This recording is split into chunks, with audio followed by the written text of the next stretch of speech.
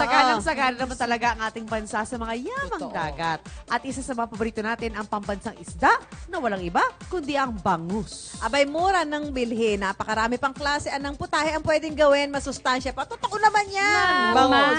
Kaya Oo. oh, umaga, Serve. may binisita tayo kung saan nakawal... Naku, naku, talaga, wala hong hassle. Kumain ng Ito bangus na. dahil boneless. ha? Ayan na, boneless na. Ito na, may extra special pa dahil of course may topping siya. Lavelia, ayos na ayos ba Sarap mga ng bangus toppings. dyan? Ang sarap, Ay, ito sarap. na. Yan na. Kain na na. Tirador ng Tama na, bangus. tama na. May bayad na, may bayad na. O, diba mga Mare and Pare, eto na nga. Napakabilis mo ng delivery sa inyo dyan, ha? Ako, enjoy nyo yan. Yang bangus na mga kapuso. At ngayon po ay nandito pa rin kami sa May Roses Avenue sa Quezon City para nga po i-offer sa inyo itong pagkasarap-sarap at ibinibida nilang inihaw na bangus, mga kapuso. At syempre pa, tinutulungan ko na dito si Ate Jezabeth na kapatid ni Superman. Joke lang. Ayan, ni, ni si Jezabeth. Ito yung kanilang mga sangkap dahil ito raw po yung nagpapalasa sa kanilang inihaw na bangus dito. Yung kanilang toppings mga kapuso kung saan meron pong kamatis at meron pong ah, sibuyas at celery mga kapuso. O, diba? Ganun po kasarap itong kanilang mga pang-topping. So, parang meron kayong salad, guys ganong level dahil fresh po ito nilang in, inaano sa inyo, ino-offer, nilalagay po sa kanilang sa inyong mga bangos na o-orderin. O, ilagay na natin, ha? Lagyan na natin ito, okay? So, nalagyan po natin ng kamatis dyan. May sibuyas, meron na pong celery yan, mga kapuso. Ayan. Huwain ko lang pumunta ito ulit, ha? Sorry, ha? Ayan. Ayan, okay. Ayan mga kapuso. Pagkatapos ho niyan, ay dadalhin ko na po ito doon kay Joko na busy-busy na. Kanina pa ho busy-busy yan. Dahil maaga pa lang ay meron po, oh, di ba? Tingnan mo itsura niya, no? Oh! Mo, mo, ganda ng itsura. Colorful! At syempre, pag nilagay mo ito sa ibabaw ng iyong inihaw na bangus, ay nagiging flavorful ang iyong inihaw na bangus. Eto na nga, Jokong, yung order. At syempre ngayon, Salamat po. gaano katagal, Joko, yung pag-ihaw mo niyan? 4 minutes po. Ah, 4 minutes lang 4 yan. minutes lang po. Yung likod, babalik ta rin mo pa yan. Opo, 1 minute po sa 1 likod. minute naman sa... Pa- sa well done po. Saka mo lalagyan ng toppings Okay po, ngayon. opo. Anong napapansin mo pag ano, pag, I'm sure natikman mo na yan, di ba? Opo. Iba talaga yung lasa? Anong, Iba po talaga. iba talaga yung lasa Opo. niya? Kung Grabe. i-compare mo po sa ibang bangus, iba po Correct! talaga. At kita-kita nyo naman guys, talagang direkta kayo, no? Diretso po yung, talaga yun. Hindi yung binabalot nyo pa sa kung ano-ano. Hindi na po. Ito direkta kayo sa hit Opo. talaga mga kapuso.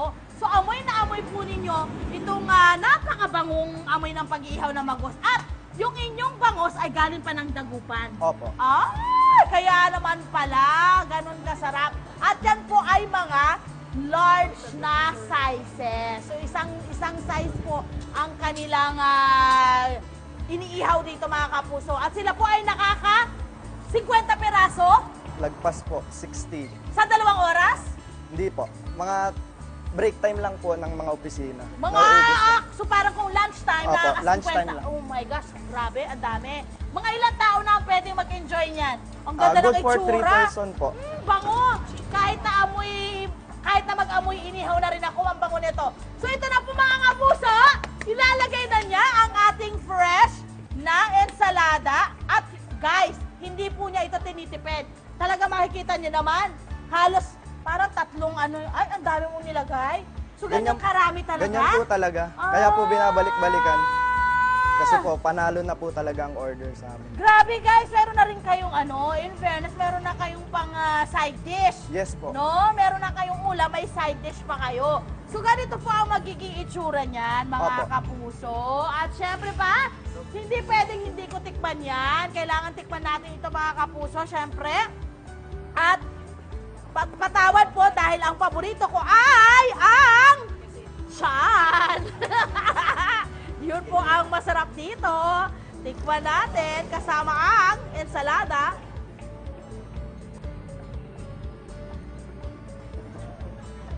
Grabe! Ang yum! Kanin na lang kulang. Ang hirap. Oh my God.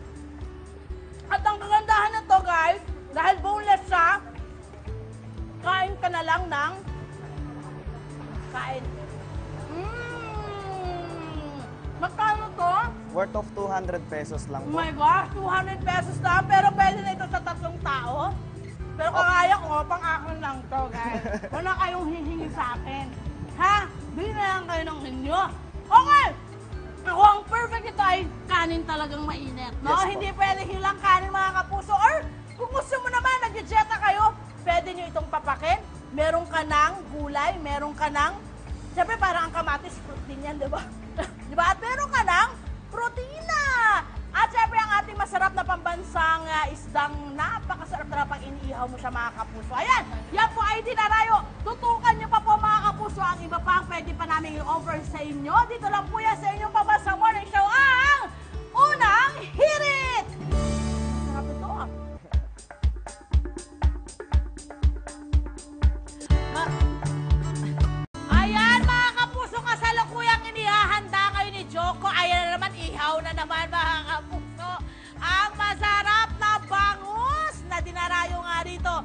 Roses Avenue sa Quezon City mga kapuso. At nako, speaking of inihaw na bangus, hindi pwedeng walang sausawan yan. Lagi po may mga kombinasyon ng sausawan yan mga kapuso. Depende po yan sa mga gusto po ninyo. Aba, meron po tayong... O, top. Ito yung ah, balayan bagoong. O, di ba? Ito yung ano lang, sauce lang. Ayan, no? Galing po yan sa Pangasinan, nakakapuso, na merong kalamansi. At syempre pa, merong pampanghang na napakalaking pulang sili, mga kapuso. Next po ay meron pong patis na may sili rin po mga kapuso. At syempre pa ang isa sa pinakasikat ang Toyo Mansi na talaga namang ah, isa po to sa pinaka paborito pagdating po sa pag yung mga ihaw. Okay, meron din po sila rito mga kapuso na iba pang mga pagkain na pwede pong i-partner dito po sa kanilang ah, inihaw. Dito rin po sa restaurant na ito, meron po silang gotong Batangas, may bulalo, at meron din pong sinanglaw. Yan! At ang kagandahan po dito mga kapuso dito sa kainang ito, kada araw ay nagluluto sila ng iba't ibang ulam. Lutong bahay na sigurado po ka kung mag-enjoy po kayo mga kapuso. Lalo na sa mga mga mahilig, gusto nila eh healthy-healthyhan. At ito pa, isa pa pong tip para po sa inyo. Ito pong kanilang bangus ay catch of the day po yan. So, hindi po sila naglalagay sa freezer. O, di ba kung ano po yung ah, binili nilang ah, ah, mga bangus, yan din po ay na-dispose sila sa kanilang mga suki na nagpupunta rito. Ang ganda ng pagkaihaw. O, di ba, mga kapuso? Ayan, syempre pa, ang pinakamagandang kapartner po talaga ng inihaw ay kanin! Kaya tutok lang pa rin po sa inyo pa sa morning show!